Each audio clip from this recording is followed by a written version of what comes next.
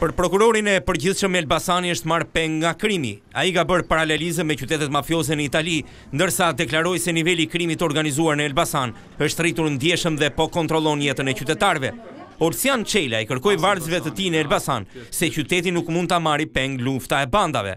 Niveli i krimit është në rritje dhe nuk po bëhet fjalë për nivelin e krimit të zakonshëm, por kemi të bëjmë me krimin e rëndë, me krimin e organizuar.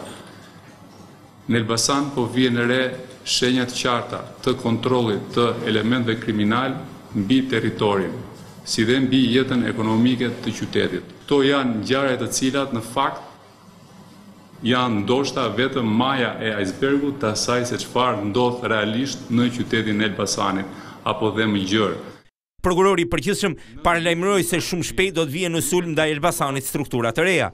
Duke iu referuar një qasjeje tjetër, prokurori duket sikur deklaroi për përgatitjen e një sulmi ndaj bandave në këtë qytet së shpejti.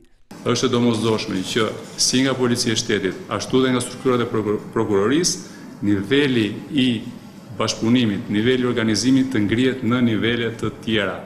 Neve nuk do të shpikim rrotën. Kemi eksperienca shumë pozitive se si janë përballur institucionet ligjzbatuese shqiptare me krimin e organizuar shumë vite përpara dhe kanë pasur sukses.